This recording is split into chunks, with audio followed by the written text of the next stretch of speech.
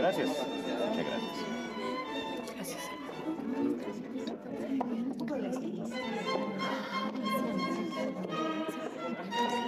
Sabes perfectamente bien que no estaba de humor para esto.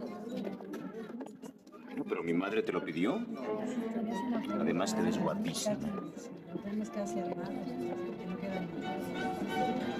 ¿Y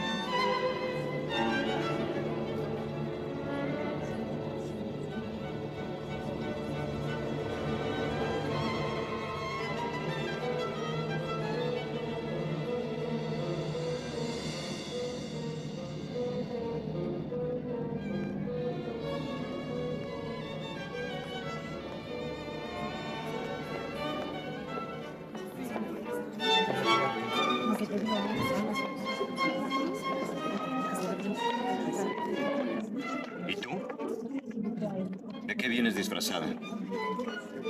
¿De tu mamá?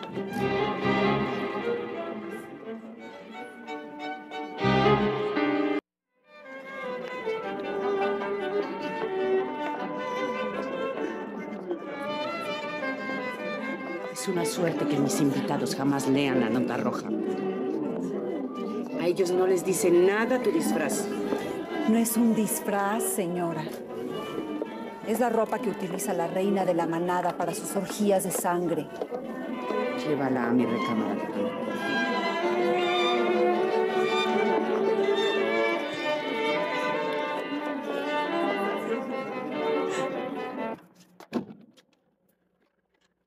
No voy a permitir que arruines la reunión. Voy a hacer algo peor, Alejandro. Voy a arruinarte la vida. ¿No comprendes, verdad? No podrías comprender una mente tan diabólica como la de tu madre. ¿Es eso, mi madre? No voy a permitir que la insultes frente a sus invitados. Ellos solo ven la apariencia.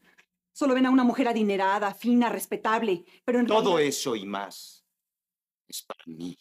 aunque haya asesinado a tu padre, ella lo mató, Alejandro. Lo asesinó aquella mañana que tuve la desgracia de conocerte. ¿Recuerdas el frasco faltante en la oficina? Tu madre lo utilizó para poner el líquido en el jugo de naranja.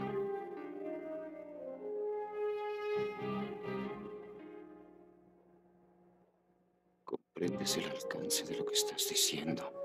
¿Por qué crees que lo hago? Te dije claramente que iba a cambiarte la vida.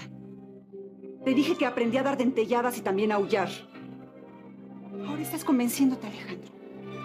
Ella es una asesina. Y el primero de la lista fue tu propio padre. ¿Cómo supiste eso? Por Berta. A doña Catalina no le importa ni el joyero ni Gutiérrez.